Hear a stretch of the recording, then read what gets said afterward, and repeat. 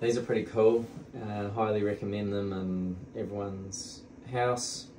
This gives you instant hot water at your fixture. So if you're at your kitchen, anywhere you got hot water, we run a loop around the house to the hot water line and back to the hot water tank and this this pump is just continuously continuously just pumping hot water around your house so when you turn on your hot water with your shower or anything you don't have to wait for the hot water to run from the hot water tank to your fixture.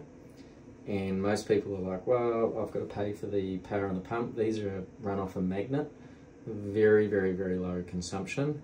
But if you think about if you're running, I think I timed it on a house once and it was 30 seconds running cold water into your hot water tank um, and standing there wasting water, although Canada's got a plethora of water, um, you then have to heat up that hot water or that cold water that's just come into your tank, you have to heat that up.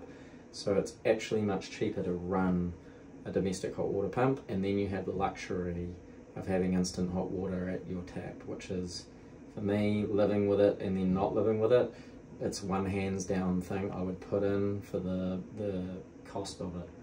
Um, and these pumps last a very long time if you just keep them running continuously as well.